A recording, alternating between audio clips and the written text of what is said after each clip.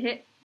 えーちなみに、えー本日朝、なんとめざましテレビに出演させていただいていました。はい。本日より新曲、いばらがめざましテレビのテーマソングとして起用いただいているんですけれども、作詞作曲は Vaundyさんで、逆光以来の2回目のタッグとなって、いや、またまたね、もう茨もね、もう、ロックなんですけど、青春ロックっていうか、もう胸熱なロックっていうんですかね、もう、本当に逆光の時とは違ったまたかっこいいロックをね、かましてくれましたね、 Vaundyさんは。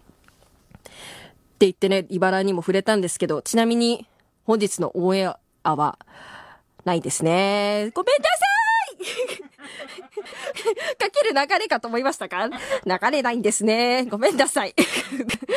あの、先に言っておくんですけど、ごめんなさい。